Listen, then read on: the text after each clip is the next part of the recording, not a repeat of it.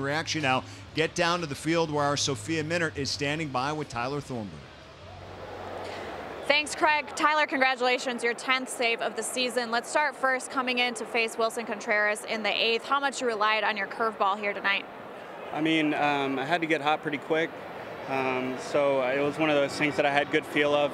Um, didn't have great control over my fastball at the time.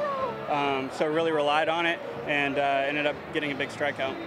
It was a week ago at home. You had to face this top of the order to get the save against the Cubs. You had to do it again here tonight. How'd your familiarity with this lineup play into your success tonight? Oh yeah, I mean I've faced this team a lot, especially um, you know at the top of the order. Um, definitely helps knowing the guys and knowing what pitches. I've been successful against them. Um, it's definitely nice to get those guys out again. Obviously, the Cubs are just waiting to clinch the division here tonight. This fan, these fans were electric. What was it like pitching in this atmosphere? It was awesome. Um, you know, I've never gotten the chance to pitch in a playoff atmosphere, um, but this is definitely as close to it as um, I've had. All right, thanks, Tyler, for your time. Four out save for Tyler Thornburg, the 10th of the season for him, Craig, and the uh, Cubs will have to wait one more night to clinch the division here, thanks to the Brewers.